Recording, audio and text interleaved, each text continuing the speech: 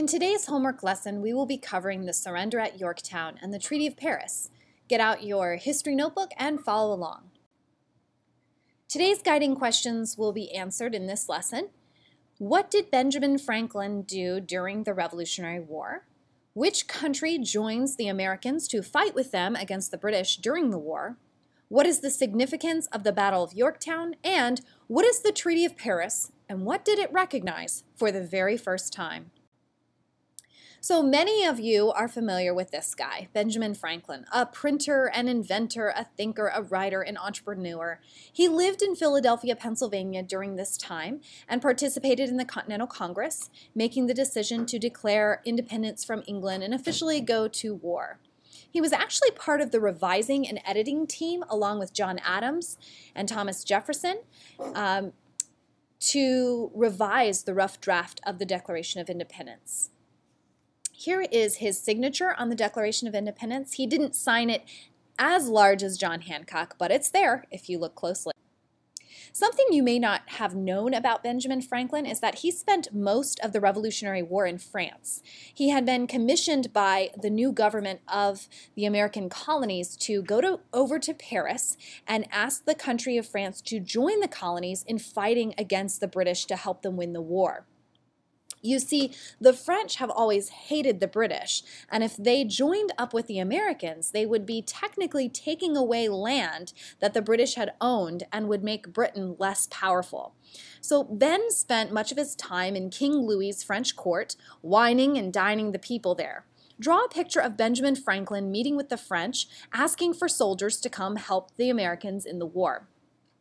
Finally, in 1777, Franklin's convincing paid off. The French joined the American Continental Army and send over hundreds of French troops, including Navy ships, something the Americans didn't have. One of the famous French officers who comes over is a young man named the Marquis de Lafayette.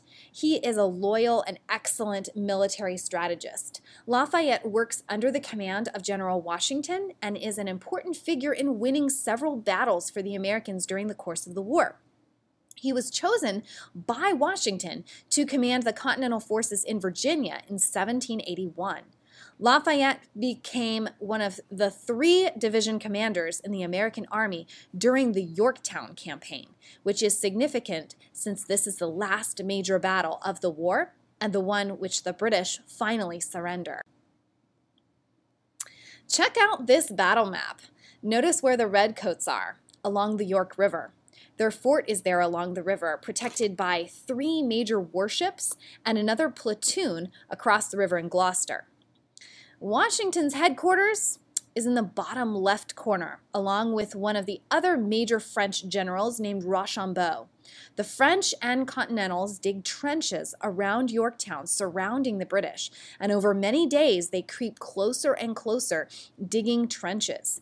Take a moment now to draw a battle map of your own in your notes with the British fort, the river, along with the French and Americans closing in.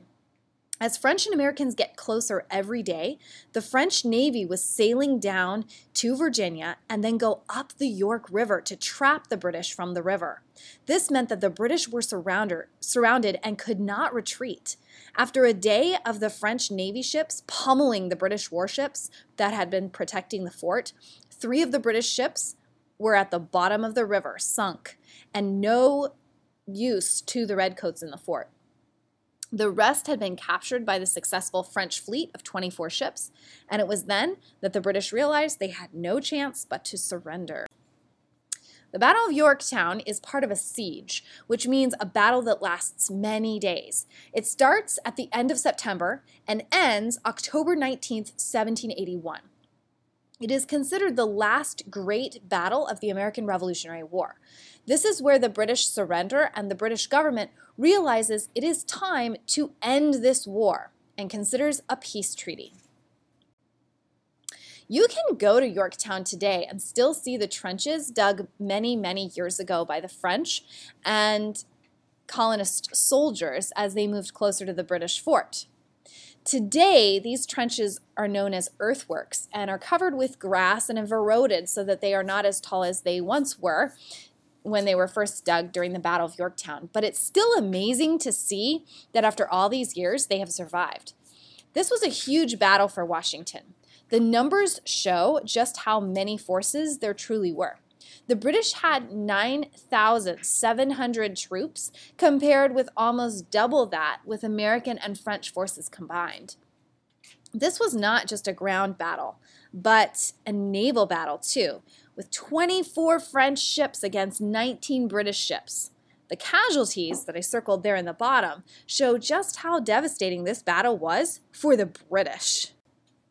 General Cornwallis was the British general of the Red Red Coat troops in Virginia in 1781. He was in charge of the British Army in Yorktown. He was the general who surrendered to Washington at the Battle of Yorktown. Now, interesting story. He was so humiliated by the defeat at Yorktown that on the day that he was supposed to participate in the surrender ceremony, he stayed in his tent claiming that he was sick. Instead of going himself to hand over the sword to General Washington as the official symbol of surrender, he stayed behind and sent his second in command to do it for him. So, in response to Cornwallis sending his second in command rather than attending the surrender ceremony himself, Washington also sends his second in command to receive the sword. You can see this happening in the painting shown here, and I'd like you to go ahead and draw a version of this yourself in your notes. You can see Washington on the right side in the back with his troops there on the right, the French on the left, and the Redcoats are coming to surrender their arms over to the Patriots. And leading the Redcoat line is Cornwallis's second in command. So Yorktown is won, and the newspapers throughout the colonies rejoiced. This major victory caused the Redcoats to recognize that any continued fighting would most likely result in their failure and the loss of more men. Thus, not many more battles were fought after that, and the British troops began heading back home to England. The Treaty of Paris of 1783 negotiated peace between the United States and Great Britain, ending the Revolutionary War officially and recognizing American independence for the very first time. You can see the actual primary source there in the top right corner. It was signed in Paris, France, hence the name. The Continental Congress named a five member commission to negotiate the peace treaty that included people you might recognize John Adams, Benjamin Franklin, John Jay, Thomas Je Jefferson, and Henry Laurens. So the Revolutionary War is over. Now the map looks like this. There we go. The gold represents British, the purple represents French control. See the difference in the two maps? Pre-war boundaries and now post-war?